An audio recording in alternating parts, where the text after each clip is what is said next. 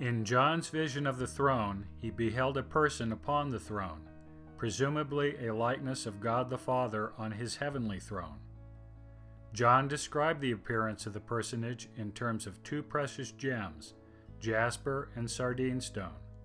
The throne itself was described as an emerald. That John used three stones to describe what he saw, and that these stones were of a particular color, is not accidental or serendipitous.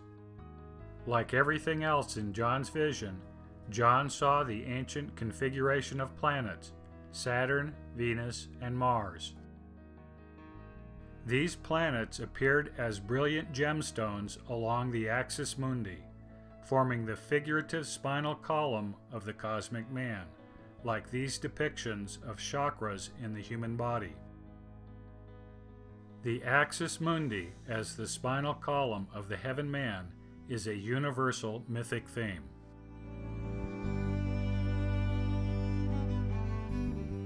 The first stone John noted was jasper.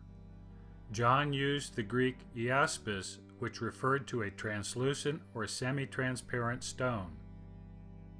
Jasper can be found in various colors, ranging from red to yellow to brown to green. The jasper in this case was of the yellow-brown variety and signified Saturn, which has a similar yellow-brown coloration. Later in his Apocalypse, John used jasper to typify the Holy Jerusalem descending from heaven and described it as being clear as crystal. The holy city Jerusalem he saw was the planet we know as Saturn, which we will identify in another episode in this series.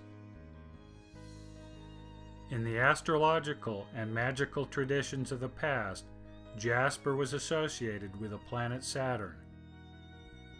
According to the renowned astrologers Paracelsus, Agrippa, Kircher, and Lilly, each planet was associated with or assigned certain gemstones. Onyx, topaz, and jasper were assigned to Saturn. The second stone was the sardine stone. In Greek, this is sardion, also known as carnelian. This stone is brownish red due to the presence of iron oxide impurities. Due to its reddish color, this gemstone was associated with the planet Mars and is to be identified as the red planet in John's vision. The third and remaining stone in John's triad is the emerald, or smaragdinus in the Greek. Emeralds are generally green, though they can have other colorations including a blue-green hue. The planet Venus we see today is normally described as a yellowish white and not the green of the precious stone. But there are good reasons to believe that Venus once appeared to the earthbound observer with a green or blue hue. For example, the famed astrologers noted previously all associated the planet with the emerald, and with other bluish green stones, including turquoise and beryl. The planet Venus was the archetypal mother goddess. Among the goddess's numerous incarnations throughout the ancient world, there were several that were either green or blue. One version of the mother goddess in Buddhism is Tara, who appears as a female Buddha. Tara has various colorations, but one of the most widely known forms is as the green Tara. Note the red disk behind her head signifying Mars, and the golden enclosure signifying Saturn. The famous Sumerian Inanna was often portrayed as being green. One of her titles was the Green One. Like her Sumerian counterpart, the Egyptian Isis was also called the Green Goddess. Her color, according to hieroglyphic inscriptions, was like unto the greenness of the earth.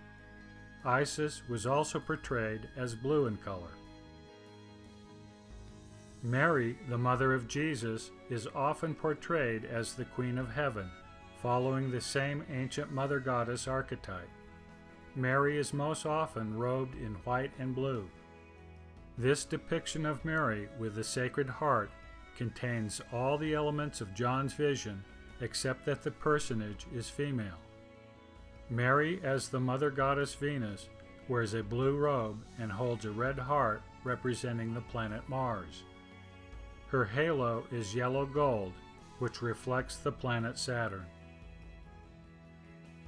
The axis mundi, or the alignment of the planets Saturn, Venus, and Mars along Earth's axis, was anciently expressed as a tree, a mountain, or a tower, among many other things.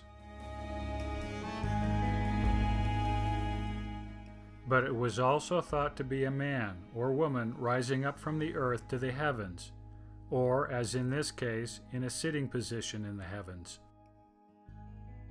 John used this heaven man with his spine of gemstones to describe God the Father sitting upon his throne, or, in other words, our Father who is in heaven.